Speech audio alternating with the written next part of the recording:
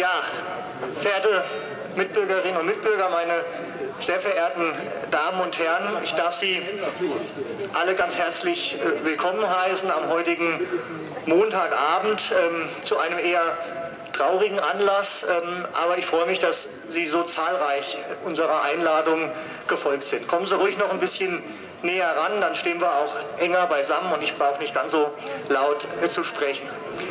Ja, wir stehen alle gemeinsam unter dem Eindruck dramatischer Ereignisse, was der gesamte Westen versucht hat äh, zu verhindern, ist in der letzten Woche doch eingetreten. Wir haben Krieg in Europa, mitten in Europa.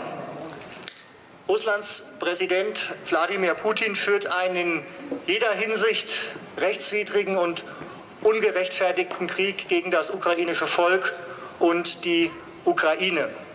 Das ist der Anlass, warum wir heute Abend zusammengekommen sind und äh, ich darf Sie ganz herzlich begrüßen im Namen der Vogelsberger Parteien von SPD, Grünen, Freien Wählern, FDP und CDU. Wir stehen alle zusammen gemeinsam hier heute hier und äh, wollen mit Ihnen eine Mahnwache halten und vor allen Dingen für das ukrainische Volk und die Ukraine eintreten.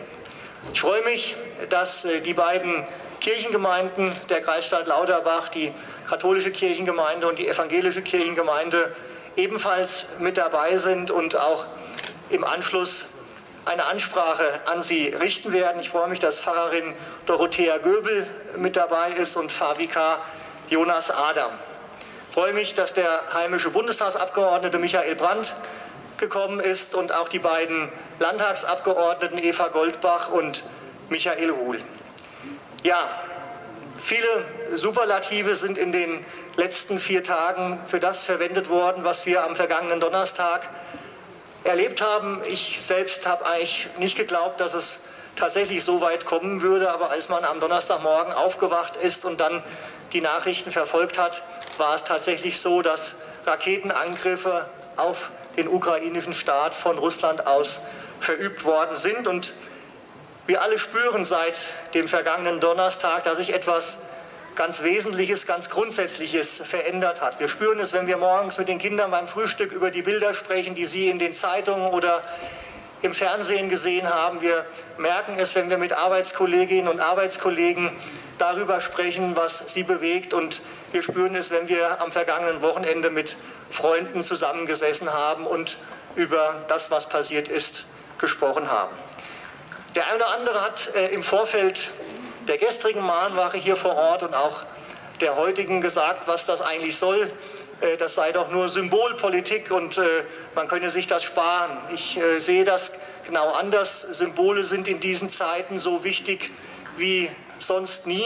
Und wir müssen uns vergegenwärtigen, dass nur in 1800 Kilometern Entfernung von hier, genauso weit weg wie Mallorca, um das mal zu vergegenwärtigen, ein Krieg herrscht. Menschen leiden, Menschen sterben. Und das ist das, was uns gemeinsam bewegt und das, was uns auch verbindet. Und wir wollen heute diesem gemeinsamen Gefühl auch Ausdruck äh, verleihen. Wladimir Putin, stoppen Sie dieses Blutvergießen, stoppen Sie das Leid, die Vertreibung, stoppen Sie diesen Krieg.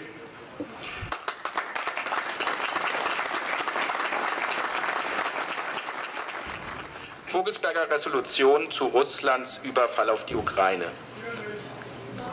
Mit großer Sorge und Entsetzen verfolgen die Bürger des Vogelsbergkreises den militärischen Angriff Russlands auf die Ukraine.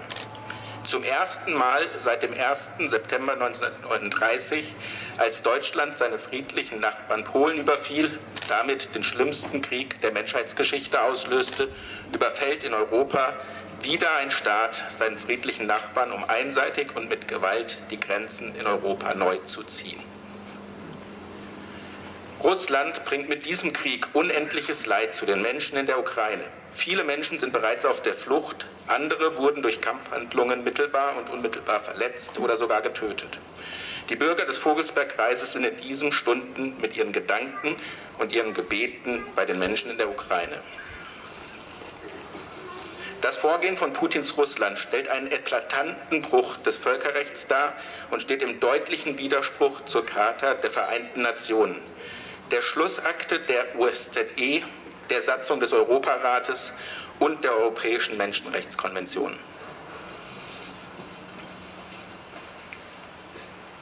Die demokratischen Parteien des Vogelsbergkreises, CDU, SPD, FW, Grüne und FDP, verurteilen entschieden die Aggression von Putins Russland und erklären sich in gleichem Maße solidarisch mit der Ukraine und dem ukrainischen Volk. Wir haben großen Respekt vor den Demonstranten innerhalb Russlands, deren mutige Demonstration und Kritik am Regime hier wahrgenommen wird und genauso Unterstützung erfahren. Mit seinem Krieg gegen die Ukraine führt Putin nicht nur einen Krieg gegen ein Land, sondern einen Krieg gegen die gesamte westliche Welt und ihre Werte. Und das sind Freiheit, Frieden, Selbstbestimmung und Demokratie. Die demokratischen Parteien des Vogelsbergkreises fordern die Bundesregierung und die Führer der westlichen Welt auf, unsere Werte zu verteidigen, dem Aggressor entschieden entgegenzutreten, ein Ausweiten des Konflikts zu verhindern und die russischen Machthaber zum Einstellen der Kampfhandlungen zu bewegen. Gleichzeitig fordern sie die Machthaber Russlands auf, die kriegerischen Handlungen sofort einzustellen und ihre Truppen vom ukrainischen Staatsgebiet zurückzuziehen. Nur der bedingungslose Rückzug der russischen Truppen kann Grundlage dafür sein, dass wieder an einer diplomatischen Lösung gearbeitet wird, welche die Grundlage für einen dauerhaften Frieden in Osteuropa ist.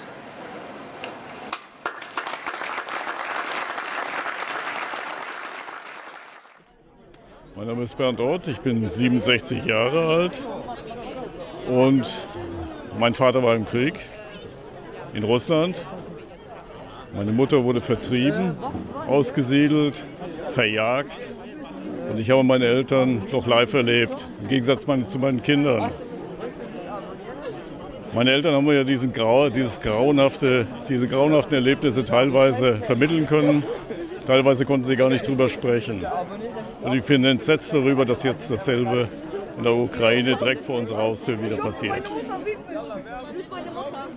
Liebe Mitbürgerinnen, liebe Mitbürger, dieser Krieg ist ein schweres Verbrechen mitten in Europa. Wir alle spüren den großen Schmerz im Herzen, erschüttert und tief bewegt. Gleichzeitig haben wir alle fassungs- und verständnislos diesen Angriff Putins auf die Ukraine erlebt. Gleichzeitig empfinden wir Abscheu auf diesen ungeheuerlichen Angriff auf die Demokratie. Gleichzeitig gilt unser Mitgefühl und unsere Solidarität den Menschen in der Ukraine. Gleichzeitig sind alle unsere guten Gedanken bei dem ukrainischen Volk. Gleichzeitig sind unsere tröstenden Gedanken und Gebete bei den Familien und Angehörigen, die Tode zu beklagen haben. Ihnen allen gilt unser tiefes Mitgefühl. Wir tragen die Sanktionen der deutschen Regierung und ihrer internationalen Partner in vollem Umfang mit. Wir alle fordern die sofortige Beendigung der Invasion und die Missachtung des Völkerrechts. Denn wir sind alle in großer Sorge um die Frauen, Kinder und Männer in der Ukraine und wir sind alle in Sorge um den Frieden in der Welt.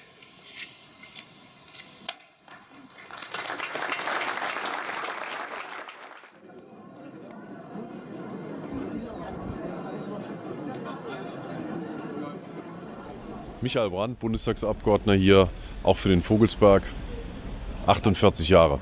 Was halten Sie denn von dieser Situation, die wir momentan haben? Wie empfinden Sie das? Ja, es ist eine Zeitenwende, die wir gerade erleben und äh, dass ein Putin in Russland die Selbstbestimmung der Ukraine, äh, das Völkerrecht dermaßen bricht mit einem Aggressionskrieg, das ist ja äh, nicht der Anfang der Geschichte, sondern es gibt äh, Zehntausende von Toten in Tschetschenien, die Putin zu verantworten hat. In Syrien gegen Zivilisten wurden bunkerbrechende Waffen eingesetzt. Der Krieg in Syrien wäre lange vorbei wenn Putin nicht Assad unterstützen würde, die Oppositionellen, die Medien, die in Russland verfolgt werden. Also man muss auch einfach sagen, der Westen hat viel zu lange zugeschaut.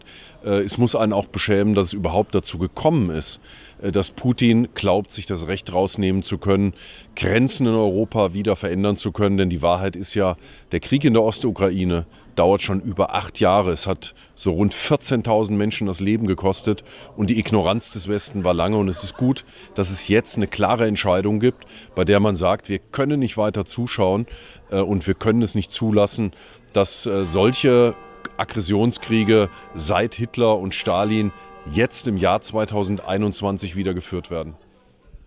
Die Bundesregierung hat lange gebraucht, wir standen mit dem Rücken zur Wand. Die Verbündeten, äh, die Freunde waren ziemlich erschüttert die letzten Wochen, äh, wie Deutschland gewankt hat. Aber man muss sagen, seit gestern, ich war ja in Berlin bei der Sitzung des Deutschen Bundestages, das, was die Bundesregierung jetzt vorgelegt hat an Maßnahmen, an Sanktionen, äh, SWIFT, auch ähm, die russische Zentralbank und auch eine Kehrtwende, das ist aus meiner Sicht eine historische Kehrtwende der SPD, dass ein Wehretat mit 100 Milliarden Euro, dass die Frage von nuklearer Bewaffnung, auch das Thema 2-Prozent-Ziel, alles Punkte, die wir als Union in der Regierung in den letzten 16 Jahren, zwölf Jahre hat die SPD mitregiert, ja gefordert haben, die an der SPD gescheitert sind. Es ist notwendig und richtig und das muss man anerkennen dass die Bundesregierung hier eine Kehrtwende genommen hat, auch der Bundeskanzler und wir als Opposition, die Union, auch unser Fraktionschef Friedrich Merz hat das ja gestern im Bundestag deutlich gemacht. Wir unterstützen die Regierung, weil es ist richtig, weil Frieden, Freiheit und Demokratie, unsere Werte, die kosten einen Preis. Und diesen Preis muss man einlösen. Und das, was jetzt gerade passiert, wird auch uns treffen. In der Wirtschaft, die Sanktionen, auch Flüchtlinge, die zu uns kommen werden, alles das ist eine Konsequenz. Aber das ist der Preis für Frieden, Freiheit und Sicherheit. Und deswegen kann man sich nicht wegducken. Wir haben schon viel zu lange uns in der Frage weggeduckt. Eine persönliche Frage, haben Sie Verwandtschaft oder Bekannte in der Ukraine oder auch in Russland? Nein, aber ich habe einen großen Respekt vor denjenigen, die in der Ukraine für ihr Land gerade einstehen und ich will das genauso für diejenigen sagen, die gerade in Russland auf die Straße gehen, äh, trotz Propaganda und obwohl sie wissen, dass sie niedergeknüppelt werden, verhaftet werden und was sonst noch mit ihnen passiert, die trotzdem den Mut haben, für Freiheit, für den Frieden auf die Straße zu gehen oder eben auch im Verborgenen Haltung weiter zu bewahren. Und es gab zwei ganz berührende Szenen gestern im Deutschen Bundestag. Das Parlament bis auf die AfD haben sich erhoben für den ukrainischen Botschafter, haben ihm minutenlang applaudiert. Und genauso hat das deutsche Parlament sich erhoben für diejenigen, die in Russland auf die Straße gehen gegen Putin und haben minutenlang sich erhoben und applaudiert. Das waren zwei sehr berührende Szenen, die aus der Tiefe des Herzens gekommen sind. Und insofern bin ich froh, dass auch hier in Lauterbach es heute ein Zeichen gegeben haben, dass viele Bürgerinnen und Bürger gekommen sind in einer Lage, wo viele ja auch ohnmächtig sind und ihre Solidarität mit dem ukrainischen Volk zeigen. Und ich muss auch sagen, dass der Präsident der Ukraine ähm, auch auf Russisch sich äh, per Internet, per ähm, seine sozialen Netzwerken äh, an die Russen gewendet hat, dass er eine Hotline eingerichtet hat, äh, dass auch Mütter und Väter in Russland aufstehen und sagen, wir wollen nicht, dass unsere Söhne hier ihr Leben lassen müssen für einen unsinnigen Krieg, der einem Großmachtstreben von Putin ähm, begonnen hat. Und äh, insofern glaube ich, äh, ist das eine wirkliche Zeitenwende, die wir gerade erleben. Und wir müssen bereit sein, einen Preis für unseren Frieden und für unsere Sicherheit und für unsere Freiheit zu zahlen.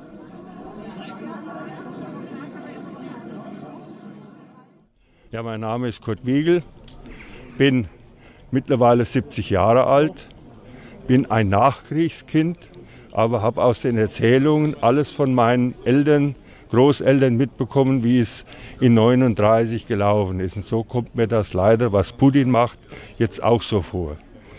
Und ich bin richtig sauer, dass man so was noch so im Jahre 2022 noch erleben muss. Haben Sie irgendwelche Verwandtschaften oder Bekannte äh, drüben in der Ukraine oder in Russland? Nein, habe ich nicht.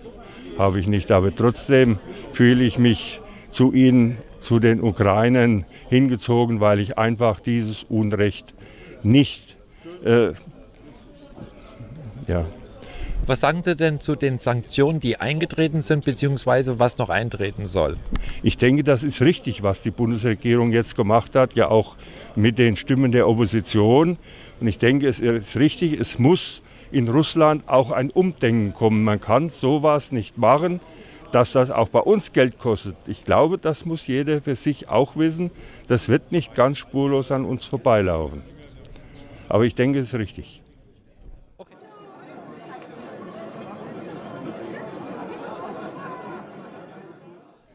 Ja, ja, ich heiße Matthias äh, Trömmner, wohne äh, in Lauterbach äh, und in Wiesbaden und ich bin heute hier, weil ich finde, dass es wichtig ist, dass überall die Menschen, die sich Sorgen machen, auf die Straße gehen und äh, ja, Ukraine supporten, natürlich äh, mit ihrer Anwesenheit, mit ihrem Gedenken, mit ihrer Solidarität. Aber ich denke, es ist auch genauso wichtig, dass jetzt die Politik entschlossen handelt und ich bin wirklich sehr glücklich darüber und erleichtert äh, über das, was ich wahrnehme, und zwar äh, weltweit, dass alle Staaten jetzt äh, sich dieser Aggression auch entgegensetzen und dass es so viele Maßnahmen auch gibt, die so kurzfristig auch jetzt schon zur Wirkung kommen und eigentlich weltweit eine große Solidarität herrscht. Und ich hoffe, auf diesem Weg wird es gelingen, diese Aggression so kurz wie möglich äh, zu halten.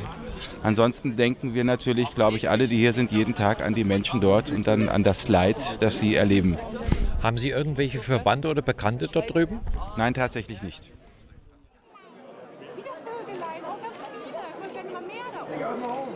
Der Friede Gottes, er sei mit uns allen. Wie zerbrechlich doch unsere Sicherheiten sind. Wie gefährdet unsere Ordnungen. Das erleben wir in diesen Tagen. Wer sieht uns mit unserer Hilflosigkeit und Angst? Wütend und fassungslos erleben wir, wie Machthaber die Freiheit und das Leben vieler Menschen gefährden. Wie am Rand von Europa der Krieg beginnt. Was wird wohl als nächstes passieren? Welchen Informationen dürfen wir trauen? Was können wir tun, das helfen oder etwas bewegen könnte? Und so rufen wir Gott an in unserer Not, sieh du unsere Angst. Wie so viele suchen wir Zuflucht bei unserem Gott und Schutz, innere Ruhe und einen Grund für unsere Hoffnung. Wir bringen Gott unsere Sorgen und wir bitten ihn, die um ihr Leben fürchten, zu begleiten und für friedliche Lösungen sich einzusetzen. In der Stille schauen wir auf das, was uns sorgt.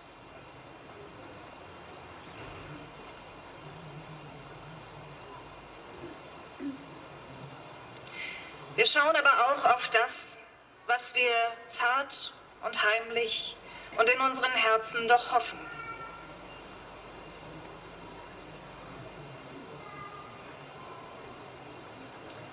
Und wir schauen gemeinsam auf unseren Gott.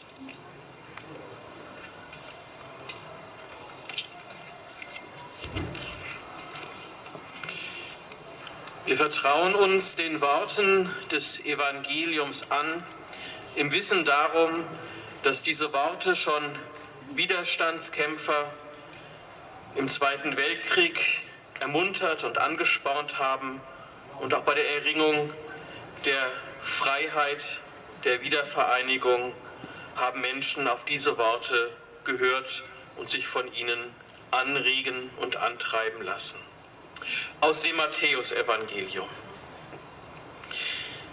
Als aber das Volk sah, ging er auf einen Berg, und er setzte sich, und seine Jünger traten zu ihm. Und er tat seinen Mund auf, lehrte sie und sprach. Selig sind, die da geistlich arm sind, denn ihrer ist das Himmelreich. Selig sind, die da Leid tragen, denn sie sollen getröstet werden. Selig sind die Sanftmütigen, denn sie werden das Erdreich besitzen. Selig sind, die da hungern und dürsten nach der Gerechtigkeit, denn sie sollen satt werden. Selig sind die Barmherzigen, denn sie werden Barmherzigkeit erlangen. Selig sind die reinen Herzens sind, denn sie werden Gott schauen. Selig sind die Frieden stiften, denn sie werden Kinder Gottes heißen. Selig sind, die um der Gerechtigkeit willen verfolgt werden, denn ihrer ist das Himmelreich.